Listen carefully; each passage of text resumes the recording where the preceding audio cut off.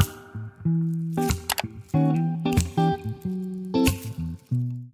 สวัสดีค่ะทุกคนวันนี้นะคะมาเจอกับคิงแล้วนะคะ ซึ่งคลิปในวันนี้นะคะเขาบอกเลยว่าเป็นคลิปที่เพื่อนๆเนี่ย request มาเยอะมากๆเลยสำหรับคนที่เพิ่งเข้ามาเป็นครั้งแรกนะคะ ก็ยินดีต้อนรับสู่ช anel ของจิงเจอรี่นะคะดิฉันชื่อคิงนะคะ ซึ่งสำหรับคนที่ติดตามอยู่แล้วก็ hello welcome again นะคะอะวันนี้นะคะหัวข้อก็จะเป็นเชิงเล่าเรื่องนะคะรีวิวนะคะ ซึ่งก็คิดว่าน่าจะเป็นประโยชน์กับหลายคนได้นะคะ ก่อนที่จะไปเริ่มนะคะ พูดถึงหัวข้อข้างในนะคะ ก็อย่าลืมกด subscribe channel ช่องนี้ก่อนเลยนะคะเราไปเริ่มพูดคุยกันถึงเหตุการณ์การดูดไขมัน และการดูแลร่างกายต่างๆดีกว่าขิงได้เป็นคนมีปัญหาในเรื่องของสัดส่วนมาหลายปีแล้วนะคะ เพราะว่ามีลูกเนาะมันก็เลยทำให้แบบมีหน้าท้องที่ใหญ่เกินไปแล้วเอ็กซ์ไซส์เท่าไหร่เนี่ยก็ไม่ลดสักทีนะคะ แล้วก็การดูดไขมันเนี่ยคือ ไม่ได้แบบจิ้มคลินิกมั่วซั่วนะทุกคน คือขิงก็จะดูรีวิวนะคะ แล้วก็ดูว่าคุณหมอเนี่ยเป็นแบบไหนพูดจารู้เรื่องไหมเราขอหมอผู้หญิงนั่นแหละเลิศที่สุดแล้วนะคะ แล้วก็เนี่ยเราดูวิธีการทำของมันนะคะ แล้วก็วิธีการดูแลรักษาร่างกายรวมถึง 3 ผลเนี่ยจะอยู่ได้นานไหมนะคะแล้วขิงจะขอพูดเป็น part ๆไปแล้วกันเนาะสำหรับเรื่องต่างๆนะคะงั้นเราไปที่ข้อ 1 กันดีกว่าค่ะ ข้อ1นะคะคนที่จะดูดไขมันเหมาะกับรูปร่างแบบไหนนะคะ หรือว่ามีปัญหาอะไรที่คนที่จะไปดูดไขมันเนี่ยทำแล้วคุ้มนะคะคือคนที่มีสัดส่วนเกินนะคะว่าจะเป็นแขนหน้าท้องนะคะ ไขมันด้านหลังสะโพกขาได้หมดเลยนะคะขิงเคยเห็นบางคนดูดหน้าด้วยซ้ำนะคะการตัดสัดส่วนอะไรอย่างเงี้ยมันไม่ใช่นะคะหลายคนเนี่ยเข้าใจผิดว่าพอดูดไขมันแล้วฉันจะสวย slender หุ่นเหมือน Jenner แบบ Kylie Jenner อะไรอย่างงี้ไม่ใช่นะคะ การดูดไขมันจะเป็นการลดสัดส่วนเฉพาะส่วนเท่านั้นนะคะ ถ้าเกิดดูดแขนเนี่ยมันก็จะลดไปสักนิดนึงนะคะแล้วก็ดูดหน้าท้องก็จะลดไปสักนิดนึงนะคะ แต่ขอบอกเลยว่าถ้าเกิดว่าเป็นคนที่ผอมอยู่แล้วเนี่ยแต่ว่าอยากให้สัดส่วนมันกระชับ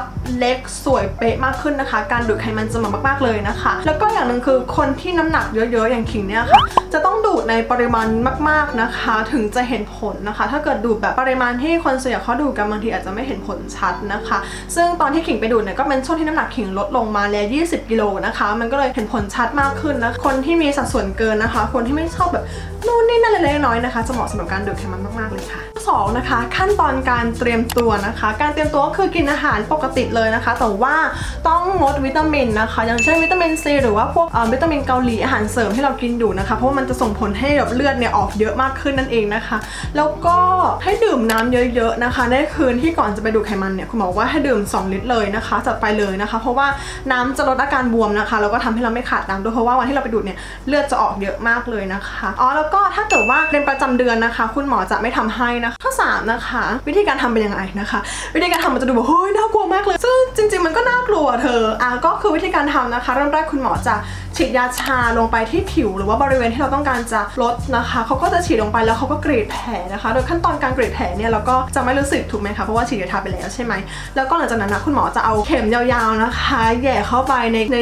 ร่องแผลนะคะแล้วเขาก็จะทำการแบบฉีดยาชานะคะ โดยการแทงเข้าแทงออกนะคะรอบๆแล้วก็ยาชาเริ่มทำงานแล้วนะคะเขาก็จะใช้เครื่องมือนะคะ ในการสอดเข้าไปในชั้นไขมันนะคะ นี่คือผิวหนังนี่คือกล้ามเนื้อและตรงกลางนี่คือไขมัน เพราะฉะนั้นคุณหมอก็จะใช้แบบไอตัวเนี้ยตัดทางผื่นตรงนี้นะคะ แล้วก็ดึงจากการพวกไขมันชั้นนี้ก่อนนะคะ ก่อนที่จะดูดนะคะ ก็คือแบบทำให้มันยุ่งๆทำให้มันแบบหลุดๆออกไปจากผังผื่นเราก่อนนะคะ คุณหมอจะใช้ไอ้ท่อนะคะยาวๆที่ทุกคนน่าจะเคยเห็นในเน็ตแล้วนะคะ มาแทงในแผลเดิม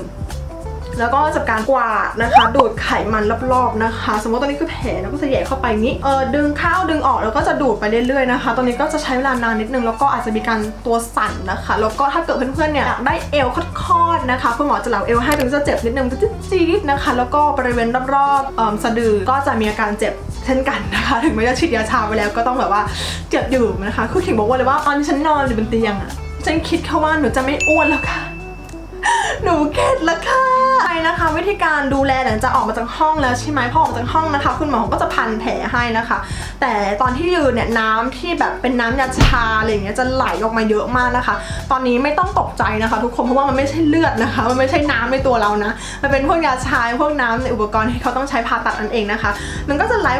ออกมาเหมือนเปิดก๊อกเลยนะทุกคนตอนนี้ขิงจริงตกใจเหมือนกัน แล้วทีนี้ก็แบบเขาจะเออเขาก็จะให้เวลาขิงกลับบ้านมาอยู่บ้านนะคะสามวันในการดูแลแผลก่อนนะ พอหลังจากนั้นนะคะเขาก็จะนัดไปนะคะในการไปดูแผลดูก้อนแล้วก็ไปดูสัดส่วนนะคะ รวมถึงเขาก็จะให้ชุดรัดมานะคะ ซึ่งชุดรัดเนี่ยหมอย้ำเลยว่าจะต้องใส่ทุกวันนะคะแบบใส่เกิน 24 ชั่วโมงไปเลยนะคะ เพราะว่านี่คือกล้ามเนื้อนี่คือผิวหนังแล้วไขมันเราโดนรีดออกไปแล้วนะคะ เพราะฉะนั้นผิวผิวหนังของเราจะมีความแบบว่าเอ่อยืดนะคะจะมีความย้วยนะคะเพราะฉะนั้นต้องใส่ชุดนี้ประกบติดกับกล้ามามเนื้อนะคะ ตรงกลางจะได้กลายเป็นผังผืนเขาสร้างมาใหม่เพื่อให้ผิวเราเรียบเนียนมากขึ้นนะคะ ขั้นตอนนี้สำคัญมากๆเลยนะคะ แล้วก็กินยาปกตินะคะ กินข้าวปกติได้เลยนะคะ แต่แค่แบบอย่าไปยุ่งกับแผลนะคะ แล้วก็อย่ายกของหนักอย่าทำงานหนักอย่าเพิ่งออกกำลังกายหนักนะคะ แล้วก็ต้องดื่มน้ำเยอะๆเลยนะคะ ขั้นตอนการดูแลหลังจากผ่าตัดก็จะมีประมาณนี้นะสำหรับเรื่องราคานะคะของ Revealing Clinic นะคะคิงทำบริเวณหน้าท้องแล้วก็ด้านหลังด้วยนะคะ ประมาณ 30,000นะคะ ทุกคน โดยอันนี้เขาก็จะรวมในเรื่องของยานะคะชุดเซตนะคะ แล้วก็การนวดอะไรอย่างงี้การดูแล